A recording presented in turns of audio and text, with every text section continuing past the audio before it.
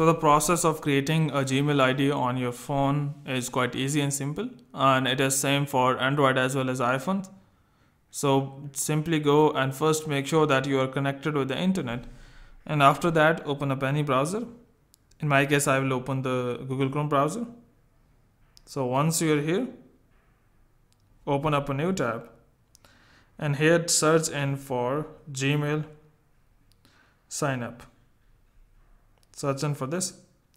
Now this would appear create your google account tap in here. This would most probably open up a pop-up. And here you can see an option of create account. Tap on create account. So you have two options for myself or to manage business.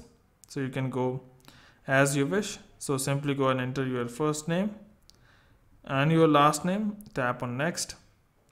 It says for birthday. So select your birthday and the year gender so it's all up to you. Here selecting a unique username that anyone else has not occupied. So for example i would go for kashif khan 193 tap on next. It's already taken. So i have to change it to something else. Hopefully now simply go and enter the password for example I would go for the password as well.